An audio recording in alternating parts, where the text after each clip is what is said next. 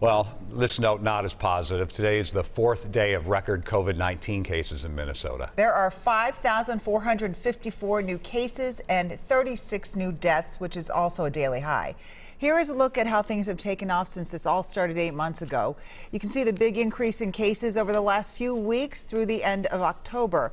Erin Hassanzadeh was on the call with state health leaders today. She joins us now. Uh, so, what is the path forward, Erin? Yeah, Amelia, a lot of journalists asking that question on the call today, asking about if the state is considering some more substantial dial backs. We asked the governor's office and MDH that as well yesterday, but no clear answer on that yet. Here's part of what MDH Commissioner Jan Malcolm had to say about it.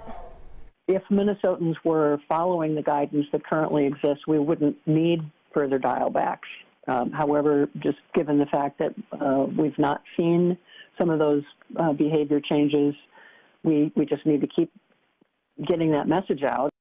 And that message is to follow the guidance, of course. Commissioner Malcolm says they monitor the data daily, even hourly. And she also added that they're looking around to other states to see which dialbacks are effective. They obviously want to pinpoint the best ones uh, moving forward, but no word on if there will be any dialbacks, but sort of growing curiosity, obviously, about that as we look at the trajectory of our numbers that you just pointed out, Amelia. And really, leaders uh, today are just pleading with Minnesotans to follow the guidance that's been in place for months now to take this seriously. Um, it's to the point where we don't even have to repeat the guidance anymore, yeah, right, Amelia? It's, it's, just a matter of doing it now.